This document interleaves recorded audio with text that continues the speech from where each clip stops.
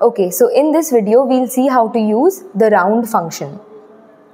First, we'll set the calculator to two decimal places. Second, format to enter. So we can see we have two decimal places now. So let's take an example. 1 divided by 3 is a recurring number we know which is 0.333. But we have set the decimal places to 2 which is why we have 0.33. But when we multiply this by 3 we should get 1 right because 1 divided by 3 into 3 here. Now what we'll do is again 1 divided by 3 but we'll use the round function by clicking on the second button and the STO button because above this is written round.